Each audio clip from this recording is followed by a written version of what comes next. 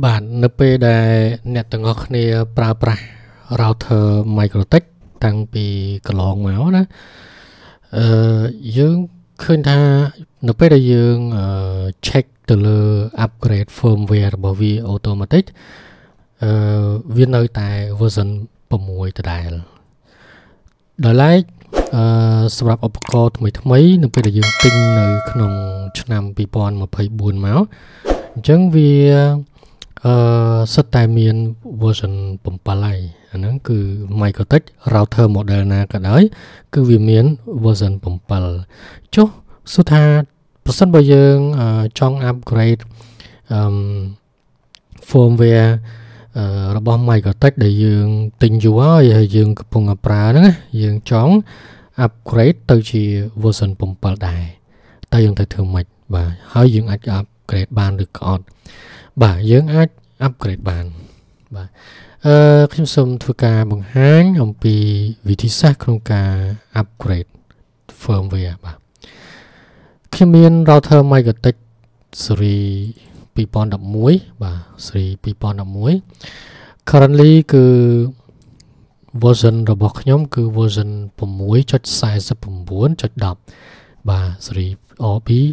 2020 11បាទ2011 20 11នឹងនៅខ្លះហៅ2011នៅខ្លះហៅ2011ចឹងទៅអឺហ្នឹងហើយខ្ញុំ log in ចូលទៅកាន់ MicroTech ហ្នឹងតាមរយៈ IP ក៏បាន តាមរយៈ MAC address ក៏បានដែរបាទចុះខ្ញុំ connect វាមកខ្ញុំបានបញ្ចូលទៅលើ password រួចហើយទើបខ្ញុំអាច log in បានអញ្ចឹងយើងឃើញមានកន្លែង packet list បាទខ្ញុំសូមបិទយើងចាប់ដើមសារឡើងវិញតែម្ដង មើលយើងឃើញថា version របស់យើង គឺ version 6.49.10បាទអញ្ចឹងខ្ញុំចង់ upgrade អឺ MicroTech នេះ បាទទៅជា version 7បាទទៅជា version 7អញ្ចឹងខ្ញុំចូលទៅកាន់ system បន្ទាប់មកខ្ញុំចូលទៅកាន់ package បាទចូលទៅកាន់ package បាទបន្ទាប់មកខ្ញុំចុចទៅលើ check for update បាទ make sure router របស់យើង គឺត្រូវបាន configure ឲ្យវាមាន internet connection ហើយហើយបាទតែជាទូទៅ គឺ router MikroTik ដែលយើងកំពុងតែប្រើវាច្បាស់ណាស់គឺមាន internet បាទមាន internet អញ្ចឹងខ្ញុំសូមបញ្ជាក់ដើម្បី confirm ថាអឺ router របស់យើង គឺអាច access ទៅកាន់ internet បាន កុំព្យូទ័ររបស់យើងគឺអាច access ទៅកាន់អ៊ីនធឺណិតបានខ្ញុំសូមធ្វើការអឺបើកទៅលើអឺ browser ណាមួយបាទខ្ញុំសូមរុញ browser នេះមកវិញមកបាទខ្ញុំសាកវាយ Yahoo មួយមកបាទបើ Yahoo គឺយើងបើកបាន បាទយើងបាច់អាចបើក Yahoo បាន អញ្ចឹងខ្ញុំសូមបិទវាមកវិញយើងបកមក router MikroTik របស់យើងវិញអញ្ចឹងនៅក្នុងប្រអប់ផ្ទាំង packet list ខ្ញុំចុចលើ check for updates បាទប្រមកខ្ញុំចុចលើ upgrade បាទជាទូទៅគឺវា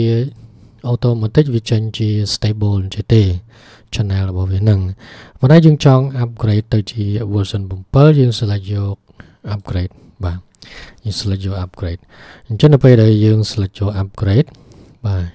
យើងចុច download and install បាទខ្ញុំចុចលើ download and install វានឹងចាប់តាម download អឺ version 7 firmware មកឲ្យយើងបន្ទាប់មកវានឹងធ្វើការ install បាទ okay download it and rebooting បាទអញ្ចឹងវាចាប់ផ្ដើមអឺ reboot router បាទ សង្ឃឹមថាអ្នកទាំងអស់គ្នាបានឮសំឡេងបាទឥឡូវដាច់ connection ហើយបាទដាច់ connection ហើយបាទអញ្ចឹង router គឺអឺបាត់បាត់ហើយបាទវា reboot ហើយបាទខ្ញុំ check មើល adapter បាទវាមិញមិញគឺវា disconnect ឥឡូវវា connect ឡើងវិញបាទវា connect ឡើងវិញបាទ ចាំបន្តិចទៅ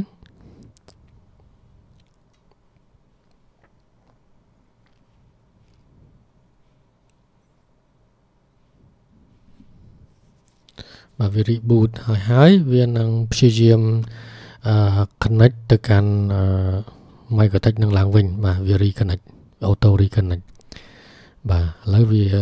connect ចូលឡើងវិញហើយបាទឥឡូវនេះយើងឃើញថា version របស់យើងគឺ version 7.12.1បាទយើងបាន upgrade router Microtech នេះ ទៅជា version 7ហើយបាទនៅក្នុង stable នេះនៅក្នុង channel stable នេះយើងឃើញថា installed version គឺ7.12.1បាទ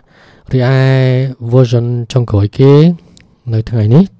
បាទគឺ version 7.15.3 អញ្ចឹងប្រសិនបើយើងចង់ upgrade បន្តទៅជា version 7.15.3យើងអាចចុច download and install បន្តទៀតបានណាបន្តទៀតបាន ដើម្បីអីដើម្បីយើងបាន latest version បាទរបស់ឲ្យវាមាននៅក្នុង router របស់យើងបាទអញ្ចឹងសម្រាប់ការធ្វើការ upgrade Microtech router model ណាក៏ដោយបាទ មិនថា model 2011នេះឬក៏3011ឬក៏951បាទគឺយើងអនុវត្តតាម step នេះដូចគ្នា ដើម្បីធ្វើការ upgrade ពី version 6ទៅកាន់ version 7បាទឥឡូវនេះខ្ញុំគ្រាន់តែចង់ឲ្យ router របស់ខ្ញុំ គឺ upgrade បានទៅកាន់ version 7បាទឥឡូវយើងបាន version 7ហើយបាទ version 7ហើយដោយសារ អឺចង់ខ្ញុំគ្រាន់តែចង់បាន version 7តែប៉ុណ្ណឹងបាទនៅពេលដែលយើង upgrade រួចហើយយើងអាចធ្វើការងារយើងអាចបន្តយើងអាចប្រើប្រាស់ internet connection ទៅលើ client របស់យើង computer របស់យើង smart device របស់យើង ជាធម្មតាព្រោះអ្វីអ្វីដែលយើងបាន configure រួចរាល់កាលពីមុន upgrade និងក្រោយ upgrade គឺវាអត់មានអីប្រែប្រួលទេ បាទគឺមានន័យប្រែប្រួលទេអញ្ចឹងខ្ញុំខ្ញុំសូមបង្ហាញទៅលើ IP address IP address LAN របស់ខ្ញុំគឺ13មាននៅតែ13ដដែលទេ បាទអត់មានអីប្រែប្រួលទេបាទអូខេអញ្ចឹងការបង្ហាញអំពីការ upgrade firmware របស់ Microtek router បាទមានតែប៉ុណ្្នឹងបាទសូមអរគុណ